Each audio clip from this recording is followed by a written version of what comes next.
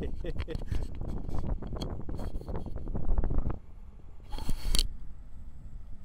want to drop them.